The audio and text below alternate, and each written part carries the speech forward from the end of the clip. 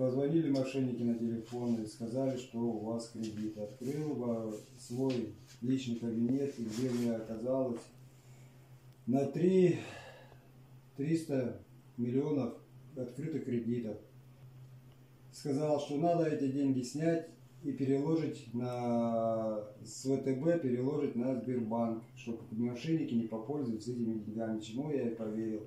Что я и сделал. Снял определил всю сумму и переложил на другой банк.